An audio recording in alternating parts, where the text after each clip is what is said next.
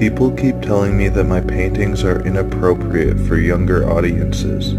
Multiple parents have complained about their kids having violent outbursts after watching my videos.